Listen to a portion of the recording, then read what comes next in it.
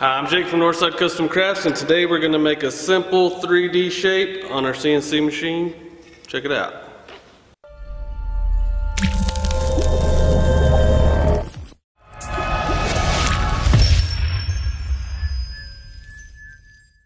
Today we're going to make a simple 3D object. Now, looking at the software, it can be pretty intimidating. You can go in depth with the 3D stuff, but we're not going to do that. We're going to have fun. We're going to go in there and mess around a little bit. I glued up this wood. It's mahogany, of course. I like mahogany and and hard maple. And the object I'm going to do is I'm going to make it look like the shape I'm going to make is coming out of this. So we'll see if it works. We're going to have fun. We're going to take the intimidation out of 3D. Uh, we're going to go to the computer. If you don't like that kind of stuff, I'm going to put a timestamp right here, and I'll put one in the description. You just hit it, go right to the action. Now let's go to the computer. So here we are in the home page of Aspire. We're going to create a new file. These measurements are already in here just to save on time. 8 and 3 quarters by 6 and 3 quarters by uh, inch and 3 quarters deep we're going to go off the machine bed seeing as how after the first cut we're not going to have a top of our surface. So I'm going to go off the machine bed. Uh, we want to go the X and Y off of the center to start with. And I'm going to hit OK. Now we need a shape on here to do so I'm going to pick a star. And I'm just going to put a star on here. Close that. Um, double click on that and I'm going to make the star a lot bigger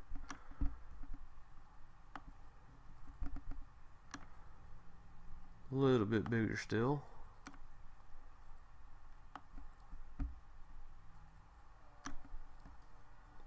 Good enough for me. So now when we're doing 3D we need to come down here to the modeling tab. Hit the modeling. Come up here and hit the 3D view.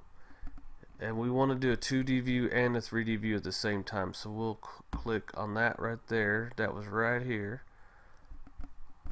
and then we want to we want to change this into a 3D model. So we'll come up here this top looking button right here looks like a spin top. I'm gonna click that and we just mess around with that for a second and now all of a sudden it makes us a, a 3D model. So I'm gonna put this like right here. We can mess with that basically the shape profile you can have it as a, a more of a round shape like that which is kind of funny looking. We can have a pointy shape like that. We can have a flat shape. It goes straight to flat. We want the pointy one just for fun. And you can change the angles of this minus or net or positive. So I think we're gonna go about right there is about as much as we can do. This base height right here is basically splitting this material in half. Well these two pieces of material aren't exactly the same thickness so I offset it a little bit trying to make it to where we're gonna see the bottom material and the, the top material is gonna look like it's coming out of it. That's my idea anyway. So now we're gonna scale this to exact height we can change it to no limit and it'll change or to the exact and that'll change. But I want it to this exact height right here. That's just a little bit taller than what the material thickness is for the top of it. And so I'm gonna hit apply. And we're gonna come over here to tool toolpaths I'm gonna pin it. We're gonna go to a roughing tool toolpath and this right here the model position in the material. We want to put this see how this is moving right here? I want to put that to where it's right at the top. And then it'll end up having some the the bottom material being pretty thick still.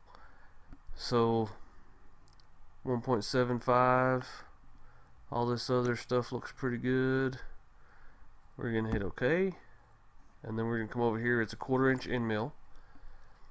And you can change whether the material boundary the model boundary so it changes just around the the thing you want to do 3D but we want to do the whole material. So I'm going to change it to that. And we're going to hit calculate so just for fun we'll preview the visible path.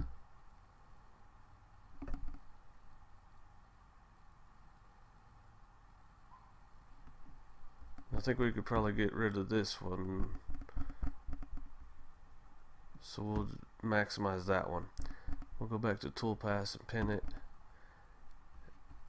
And that looks pretty cool. So we're gonna go to 3d finishing toolpath and that has a quarter inch ball nose already on it so we don't have to mess with that we still want to go to the material boundary and I'm gonna hit calculate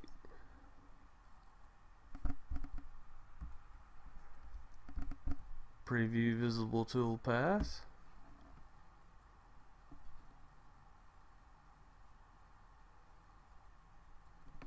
We'll do that again. We'll reset the preview. I'll set it like this. We'll preview all toolpaths.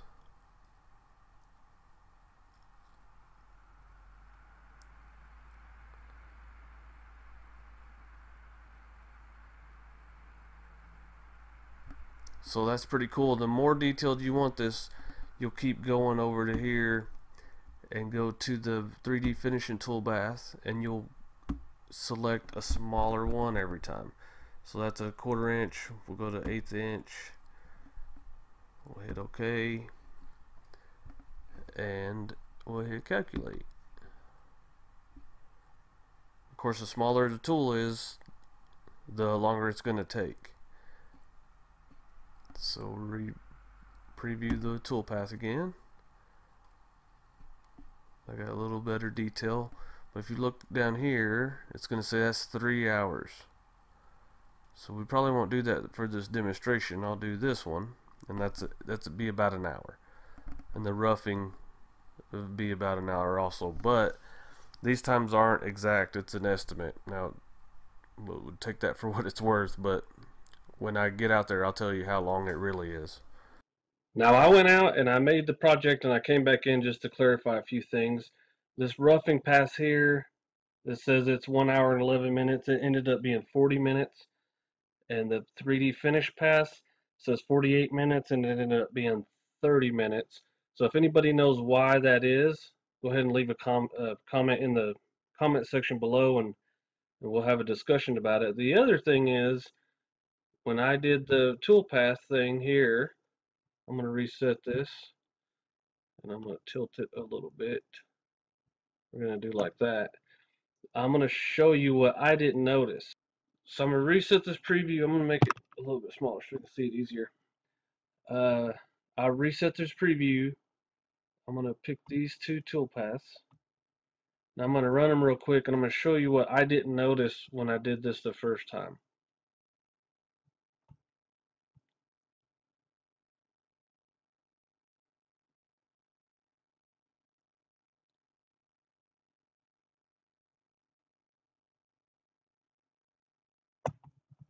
Okay, it's about to come over here and it's going to dig down right here. Maybe the next time around, it's going to go all the way down to the to the surface. I didn't notice that when I ran this model the first time, and it ended up kicking my wedges out and uh, trying to throw stuff around the shop. And I'm going to show you what that looks like right after we see it right here. See this? Boom. See that knocks this whole side out? That's exactly where I had my wedges at. And it knocked them out. And here's what it looks like.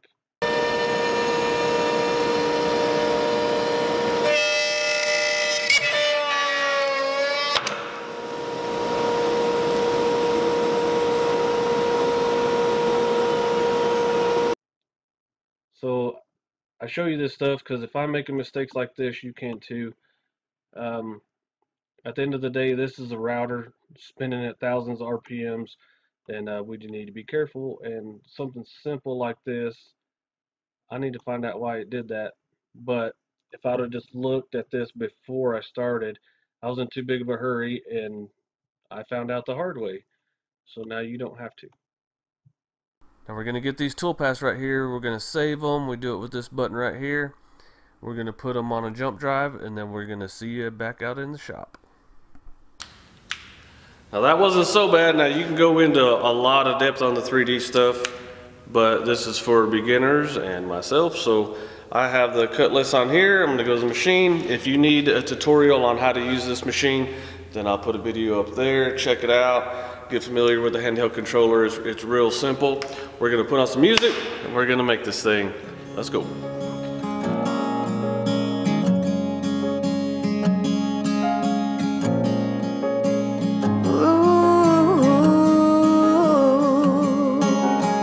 I hear thunder, I hear lightning, I hear wonders, and everybody wanna go, but no one really cares to know. I see marvels, I see titans, and some troubles that everybody has to face, that no one really can erase, and they hide away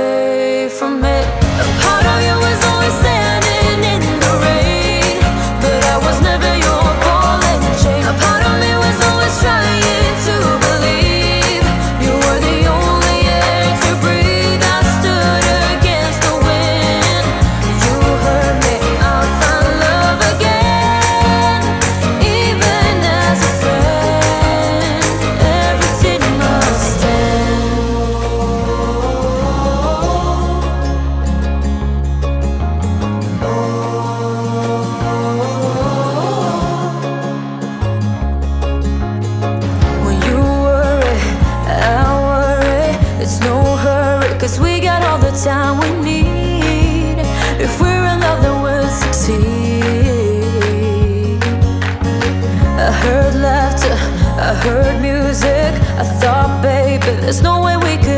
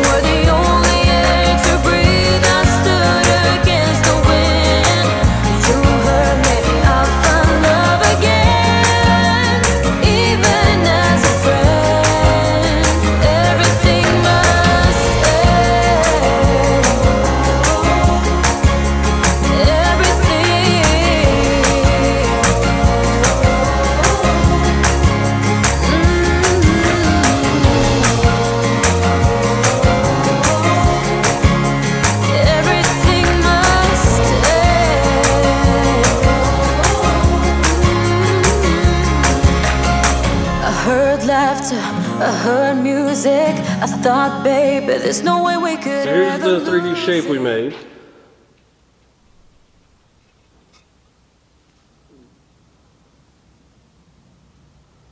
Turned out pretty cool. This video, the purpose of this video was to get over the intimidation of 3D modeling. I think we've done that. If you watch the software part, I showed you one of the mistakes I made. If I could show you the good stuff, I could show you the bad stuff, right? And another thing I did was these two pieces of wood were scrap, and the back of this one has some snipe on it. Therefore, this was a little bit lower than the rest of it, so we didn't get the rest of the mahogany off, which I left it on there so you could see my mistake. If I'm doing this stuff, somebody else is bound to do this stuff too. So, um, as always, if you have any questions, go ahead and leave them in the comments below. I'll have Laguna's number down there in the description so you can get a hold of those guys. They're real cool. If your first time here, go ahead and subscribe, like, comment, share, all that YouTube stuff. And we'll see you next time. Y'all be good. There's no way we could ever break or bruise it. You is always there.